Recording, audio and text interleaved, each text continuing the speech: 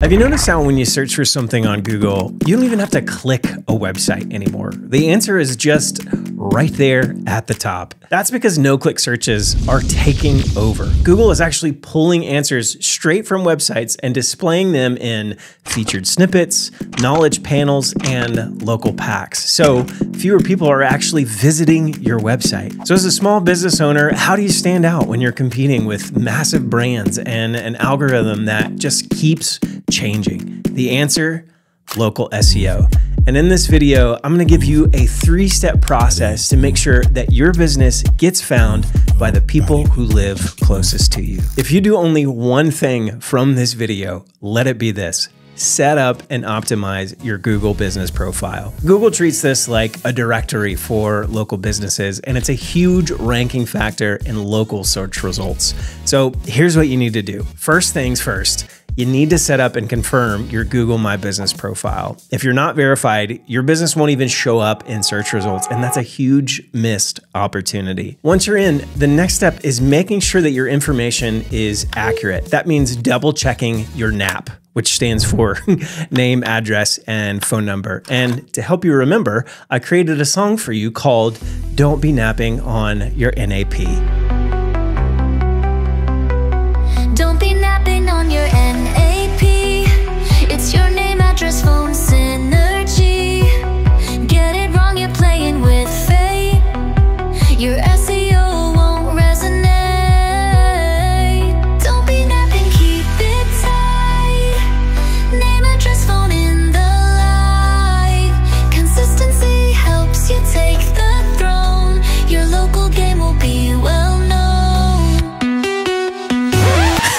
Okay, sorry about that.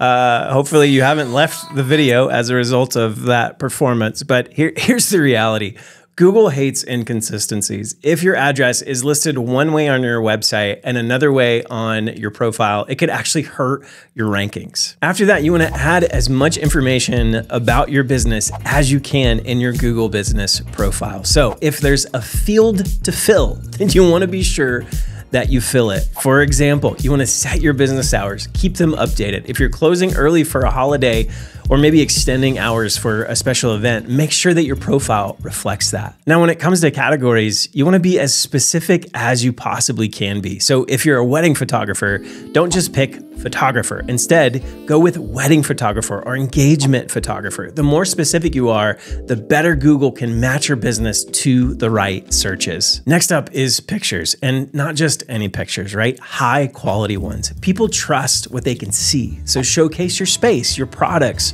or your team. The more visually appealing your profile is, the more engagement it gets. And that tells Google your business is worth ranking higher. And speaking of trust, customer reviews are huge. The more positive reviews you have, the better your chances of ranking above competitors. So start funneling all your happy customers straight to Google reviews. A simple, hey, would you mind leaving us a quick review can go a long way. There's even the ability to link straight to your Google profile and ask customers to add some feedback. Also, if your business offers any special amenities like free Wi Fi or a kid friendly environment, add those to your profile. Details like that can make your business stand out. But most importantly, don't just set it and forget it. Keep your Google business profile fresh with new photos, promotions, and responses to reviews. Google loves businesses that stay active and it rewards them with higher rankings. After you set up your Google business profile, it's time to start thinking about your website's SEO. And most businesses already know the importance of keywords in SEO. For example, if you own a dog grooming business, you might optimize your site for something like same day mobile dog grooming. But when it comes to local SEO, you need to include your location. So instead of just same day mobile dog grooming, you'd want to say same day mobile dog grooming in Boise, Idaho. Here's how to make sure that you rank in local search results. When it comes to choosing the right keywords for local SEO, you don't just want broad terms, right? You, you want long tail keywords. These are longer, more specific phrases phrases that face less competition but still get solid traffic. So, how do you find the best ones? Google's Keyword Planner is a great and also free tool to start with. Just type in some ideas related to your business, check out the search volume, and look for keywords that have lower competition but high intent. But here's where local SEO really comes into play. You need to include your location. So instead of just targeting best maternity photographer, tweak it to something like best maternity photographer in Dallas, Texas. That way, Google knows exactly where your business is and can match it with searches from people nearby. You can actually take this a step further by creating city specific landing pages on your website. So if you serve multiple areas, having dedicated pages for each city can make a huge difference in helping you rank for local searches. So instead of one generic wedding photography page, you'd have pages like wedding photography in Austin and wedding photography in San Antonio. It's an easy way to increase your visibility where it actually matters. The final step in building a strong local SEO strategy is getting local backlinks. Building local authority isn't just about optimizing your own website. It's about getting other people to talk about you on their website. It's about making sure that your business is listed and talked about in the right places. A great place to start is getting featured in local news sites or your city's chamber of commerce. Many communities have business directories or special newspapers that love highlighting small businesses. A, a simple press release or an outreach email can get you some free exposure, but it could could also get you a valuable backlink to your website. Another smart move is sponsoring or collaborating with local events and charities, whether you donate a service, offer a discount, or help organize an event. It's a win win. You support your community while also getting your business name out there. Not to mention, local event pages and nonprofit websites often link back to sponsors, which helps your SEO. Next, make sure your business is listed on all the key directories, places like Yelp or Bing Places, Apple Maps, or even Yellow Pages. I thought that that was done, but apparently it's still around and it can help you with local SEO. But here's the thing make sure your NAP or your name, address, and phone number are the same across all directories and your Google business profile. Having your business consistently listed across those platforms sends a strong signal to Google that you're legit. Do we need to play the song again or are, are we good? Okay, we'll move on. But there actually might be another way to get you more local business that you might not have thought of yet. I'm talking about connecting and collaborating with local influencers. Think about it. They already have an audience in your area, and getting them to mention or review your business can instantly boost your visibility.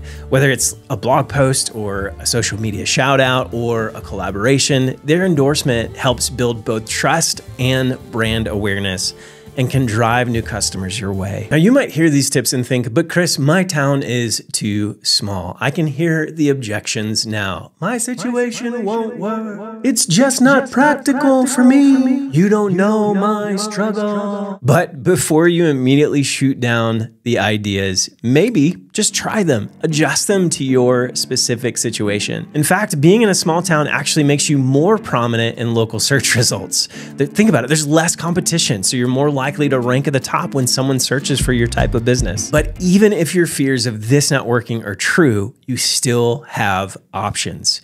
You could use near me SEO or what's known as regional SEO. So instead of focusing on just one town, optimize for your entire region. For example, best dog groomers near Tampa Bay, Florida, or best dog groomers near Tampa Bay, another city, and another city. You could even consider renting a cheap office space in the nearest big city, right? Like, even if you don't fully operate out of that city, having an address there can help you show up in search results for a larger audience. So let's recap. First, you want to optimize your Google business profile. Keep it updated, get reviews, and make sure that your info is accurate. Second, you want to shift your SEO strategy to local keywords, right? Use city names and long tail keywords to really stand out. And then finally, build local backlinks.